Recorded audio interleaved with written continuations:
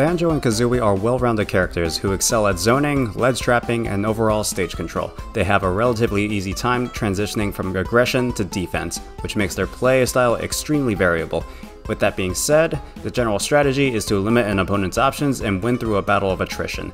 As a result, the duo rely more on playing a solid neutral and advantage state, rather than stringing together long combos, which also means that Banjo and Kazooie will likely appeal to players who are more patient and willing to play more tactically. The tandem is also blessed with a very flexible recovery and high weight, which allows them to stay alive longer than usual. Their survivability is heightened by their exceptional zoning tools that make it hard to approach and get even any solid hits on them.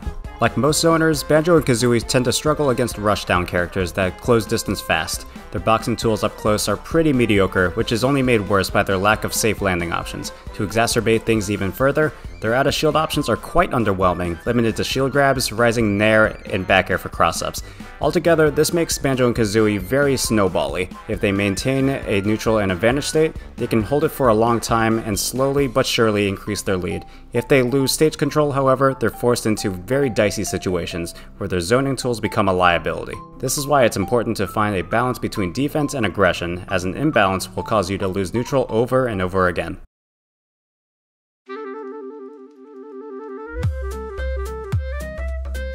Banjo's jab is a basic series of claw swipes. If you hold down the attack button, it'll turn into a gentleman, while rapidly tapping will give you the rapid jab. While neither can start a combo, both forms can be useful in their own ways. The gentleman launches up, which can potentially set up a juggle, while the rapid jab sends horizontally, making it useful for launching an opponent off stage to set up for a ledge trap. Like most other jabs, it can be used to jab lock or simply cover a tech option due to its multi-hit nature, and at low percents, it serves as a whiff punish and combo finisher to get quick damage.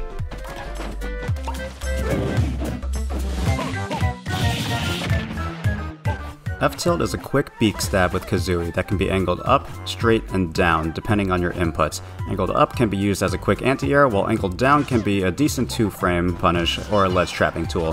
Something to note is that Kazooie does not have a hurt box, meaning F-tilt is technically a disjoint. Similar to Jab, the move isn't designed to start combos, rather to finish them, which can typically follow a dash attack, forward air, and back air.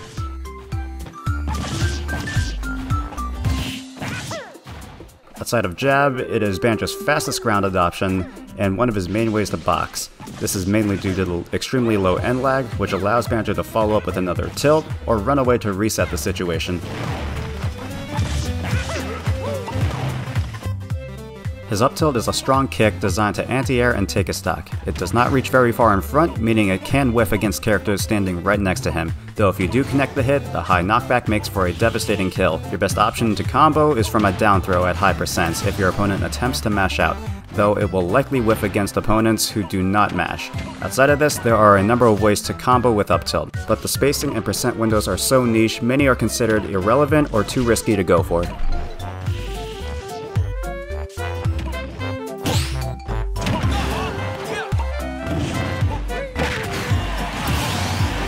Down tilt is a low beak stab, sending opponents at a hard horizontal angle. It has a strong hit and a lingering weak hit. While the strong hit is more equipped for taking a stock at high percents, the weak hit stays out for quite a while, making it more suited for option coverage and ledge trapping. Connecting the sour spot at low percents will set up a tech situation.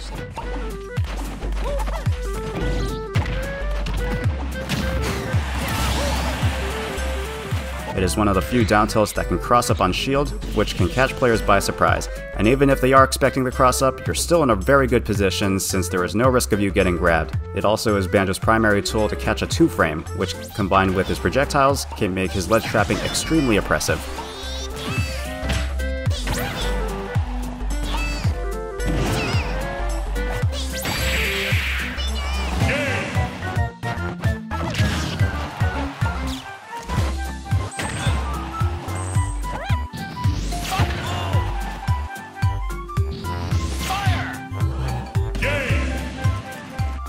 Dash Attack is a fast somersault which launches up and away.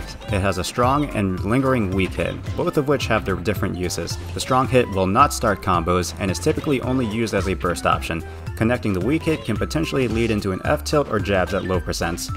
It is a pretty committal move and you'll only want to use it in conjunction with a projectile to mix up your pressure.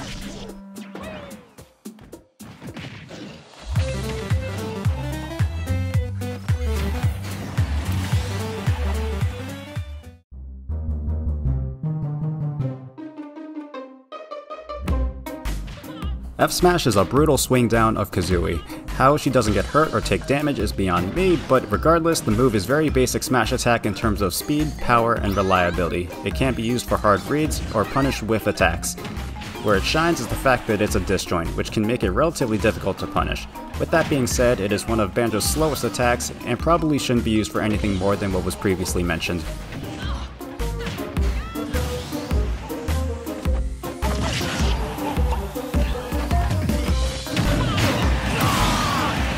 Up Smash is Banjo's fastest smash attack, functioning as a fantastic out of shield option. With a combination of decent range and the ability to cover both sides, the move is a great defensive option whenever Banjo gets trapped in his shield.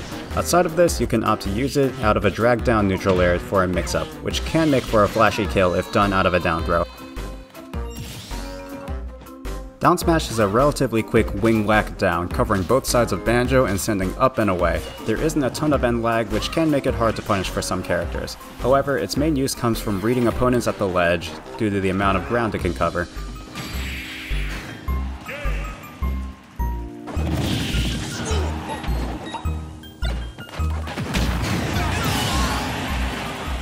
Its other uses are out of a down throw at high percents, which, if the opponent doesn't mash, will combo and take the stock.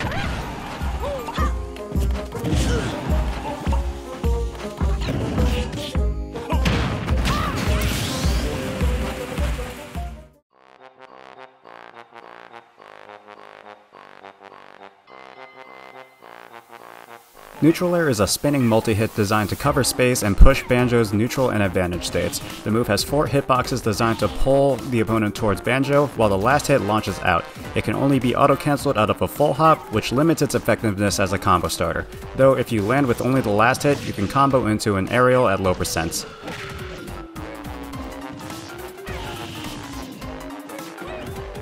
Really the best way to combo with Nair is to land so the launching hit doesn't come out. If done correctly, this will plop the opponent right in front of Banjo, which can lead into grabs, jab, or an up smash as a mix-up. Outside of combos, it's an incredible move for option coverage and pressure, especially on platforms.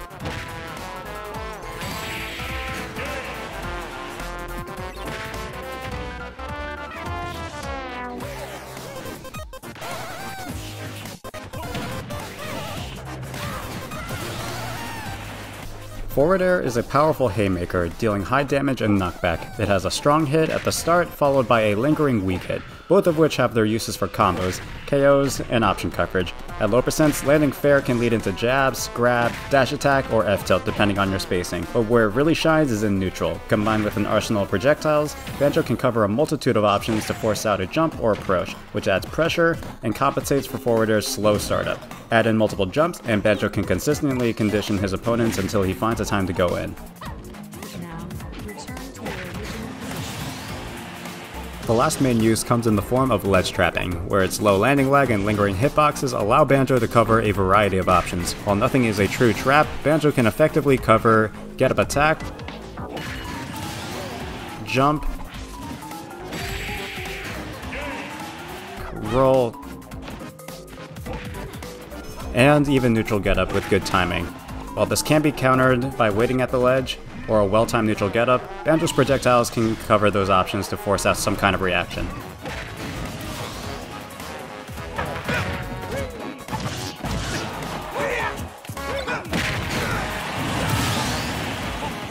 Back air is a fast three-part beak stab, where the first two hits pull the opponent in, while the last hit launches away.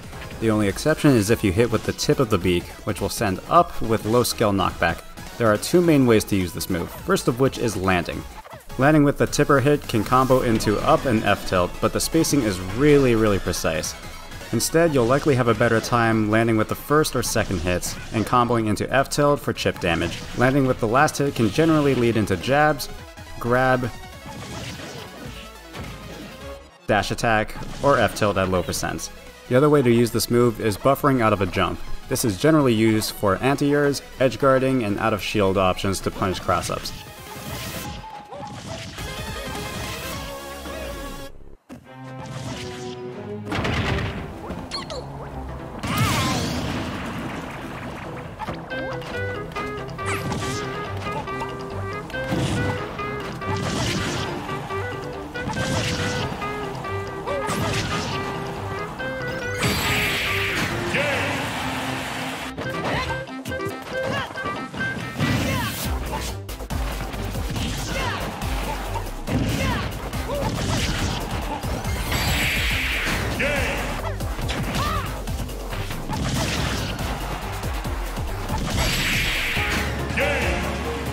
Up air is Banjo's fastest and arguably strangest aerial. It is a disjointed two-part wing clap where the first hit has low scalable knockback so it can lead into the launching hit.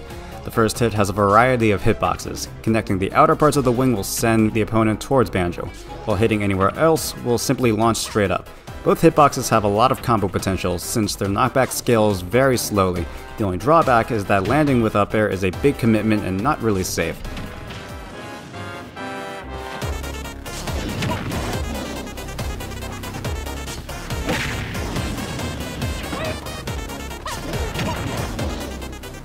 If you are sold on comboing with the move, your best bet is to land with the second hit, as the knockback is low enough where you can follow up at most percents.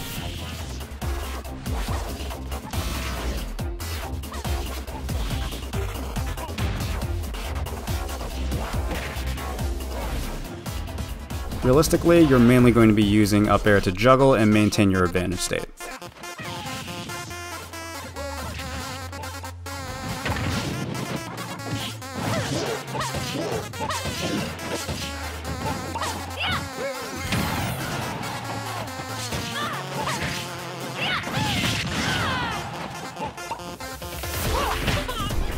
Is a disjointed stall and fall that spikes at the beginning and sends up for the rest. It has a landing hitbox that comes out the frame Banjo touches the ground, making it a solid mix-up when trying to land. It's a big commitment however and will get punished against anyone who expects it. Down air off stage is almost certain death. The only way to survive is if you are holding a grenade, which will explode in your hand and allow you to get back. To do this, jump back and spawn a grenade. Catch the grenade with down air, then up special as soon as you can. If done correctly, the grenade should explode after you up special, which will allow you to recover again. Overall, it's Banjo's least useful aerial and should be used sparingly.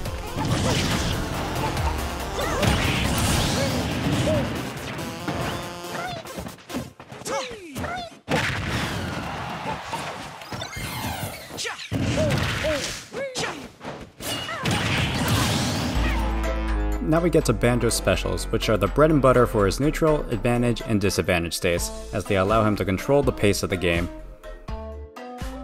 Egg firing turns Kazooie into a blaster, firing a steady rate of eggs that linger for a long time. The eggs decrease in damage and knockback the longer they are out, until they disappear completely. If you hold special, the move will transition into Breegull Blaster, a faster but shorter ranged attack mainly used for mix-ups and setting up tech situations on platforms. The nice part about Breegull Blaster is you are free to move and jump while in the mode, and you can cancel it by pressing shield or holding down on your control stick. There are two main ways to use this move, offensively and defensively. Offensively, you're looking to use the eggs to allow you to approach and limit their options. This can be done either by shooting directly at them to force a shield or jump away, or to shoot above or below to limit where they can go, both of which can lead to an anti-air, grab, or some other grounded option. However, you'll find more success using it in a defensive manner. Your main goal in defense is to maintain stage control and force out a bad approach, which you can punish. This is done by shooting eggs in the general direction to close off certain parts of the stage. Your goal is to force your opponent into one option, which you can then punish.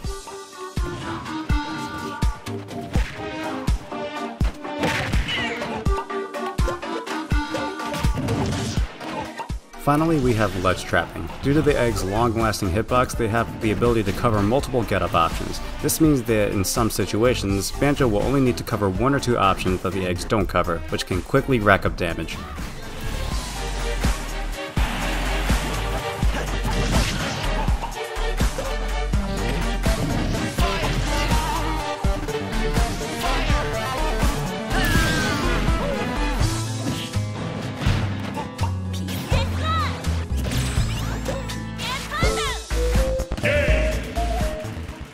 Is probably the weirdest side special in the entire game. Banjo is completely invincible during the move, while also speeding ahead for a ton of damage and knockback, potentially resulting in really early kills off the side. The drawbacks are that it comes out on frame 18, which is very very slow, has a ton of end lag, leaving you wide open if you miss, and only has 5 uses per stock, not to mention any grabs will bypass the invincibility. Other than taking a stock, its other uses are for option coverage and recovery, which is actually where the move shines the most, since most characters can't bypass the invincibility. The only way to combo into Wonder Wing is from a grenade, or if a person does not mash out of a down throw at really high percents, but at that point you probably should have gone for down smash anyways.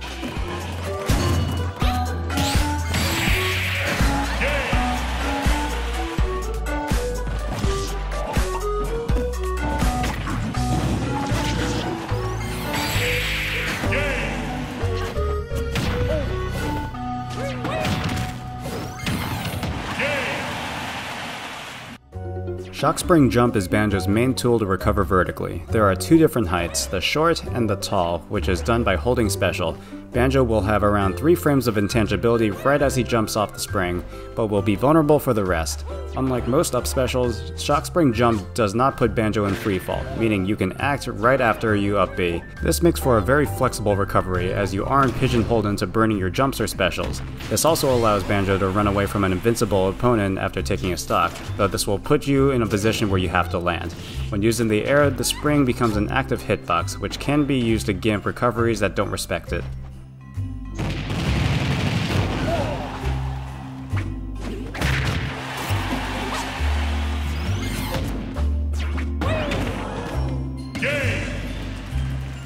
Last but certainly not least is Rear Egg. Banjo pops out a grenade that will explode on impact or just after 2 seconds. As Sakurai mentioned in the character showcase, the grenade is football shaped, meaning it will bounce at very inconsistent angles. It is a throwable item, meaning Banjo, or anyone for that matter, can pick it up and throw it, but it must be caught and thrown quickly due to the quick timer on the explosion. Quite frankly, this is Banjo's most important tool to master as it will be your main tool in all major game states. As for combos, the grenade can combo into basically every single move at virtually all percents, but here are a few bread and butter combos to get you started. Just know that the combo potential expands beyond what is shown here.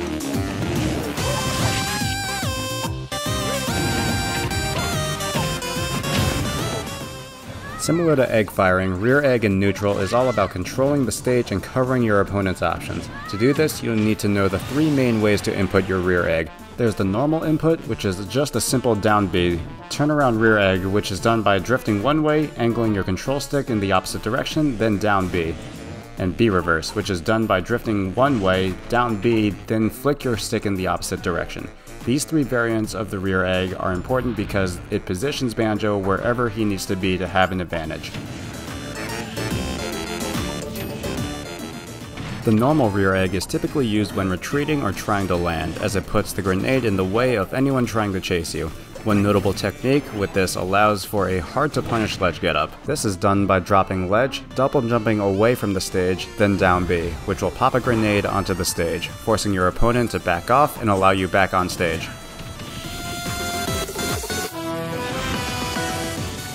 The turnaround special can be used offensively, as Banjo will land with the grenade to push his advantage state, or apply pressure after the grenade connects. This also allows Banjo to easily catch the grenade once he spawns it in. To do this, perform a full hop or short hop, turnaround special, then Z catch. To perform a Z catch, drift towards the projectile, then tap your grab button while you are in neutral on the control stick. This technique allows Banjo to have a quick and easy projectile that he can throw whenever he wants.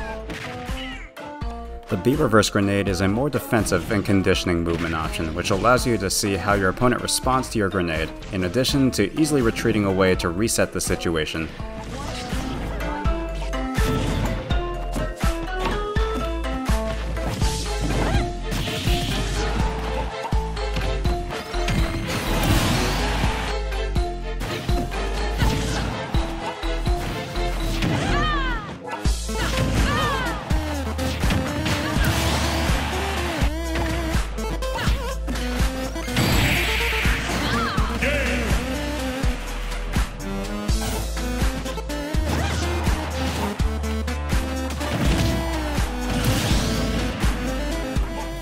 Finally, we have Banjo's throws, which, aside from one, are very straightforward with what they do.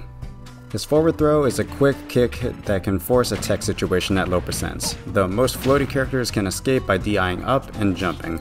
Other than that, its only other use is to send opponents off stage to set up a ledge trap.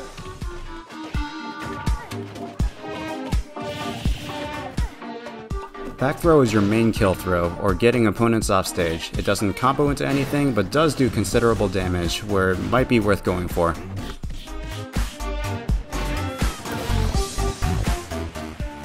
Up throw is specifically designed to set up juggle situations. There is no combo potential, but it just puts your opponents in a very bad spot.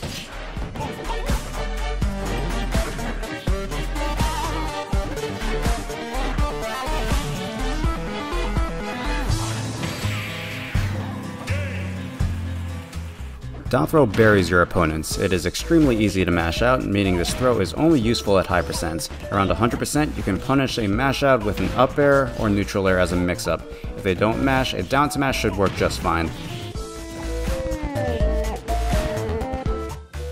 Upwards of 120 to 140% is where a down throw into up tilt starts working. If they don't mash, you can basically follow up with anything.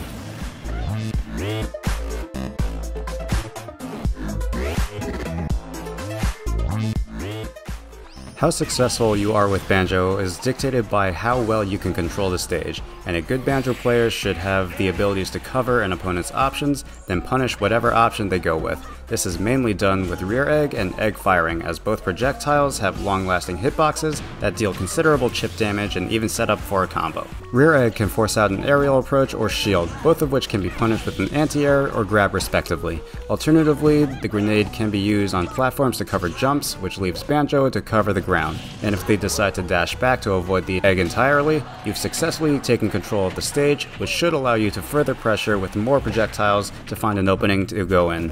Egg firing is generally used to cover any option that rear egg didn't, or to double down on that option not being available. Just like the grenade, egg firing eggs bounce and stay out for a shockingly long time, which allows them to cover space and be annoying in general. The goal of option coverage isn't necessarily to deal massive damage, rather to put your opponent in a situation where any option they choose will result in damage that will rack up as the battle drags on.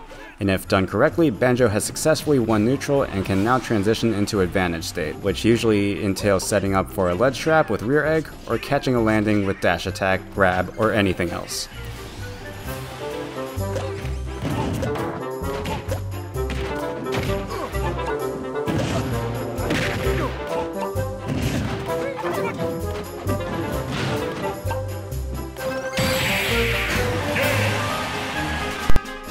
Thank you guys so much for watching, I hope you enjoyed it and learned something useful. These videos take a lot of hard work to make, so if you did enjoy it, let me know by leaving a like and subscribing if you would like to see more. If you have a suggestion for me for another character you want me to cover, let me know in a comment below. That's all I have for now, and I will see you all later. Peace out.